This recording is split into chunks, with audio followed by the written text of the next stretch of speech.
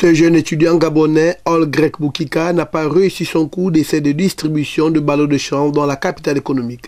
En effet, il s'est fait arrêter par l'Office central de lutte anti-drogue de Port-Gentil pour détention de 55 ballots de chanvre à valeur de 20 000 francs d'unité.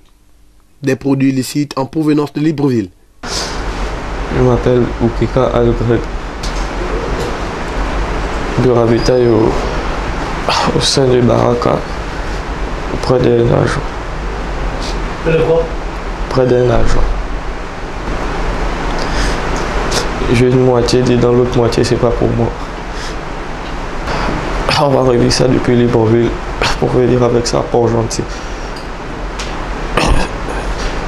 C'était avec moi-même. La personne va régler une moitié, moi-même j'avais une moitié. Étant conscient de la rigueur de la loi sur la détention, la commercialisation et la production des stupéfiants en République gabonaise, le jeune patriote justifie son action.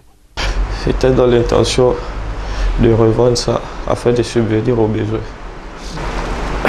Parce que je me suis dit qu'à travers ça, je pouvais plus multiplier pour subvenir aux besoins de ma santé. Vendre des produits illicites pour subvenir à ses besoins, notamment se soigner, cet argument ne disgrâce pas All Grec Boukika de se soustraire au caractère coercitif de la loi pénale.